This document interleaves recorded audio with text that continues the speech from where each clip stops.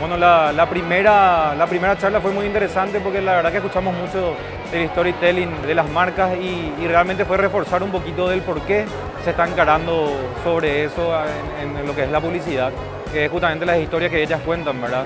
Desde los productos que están ofreciendo, ¿verdad? Y me parece que, que es el camino, es lo que emociona y lo que llega a, a las personas, a los consumidores de una forma diferente.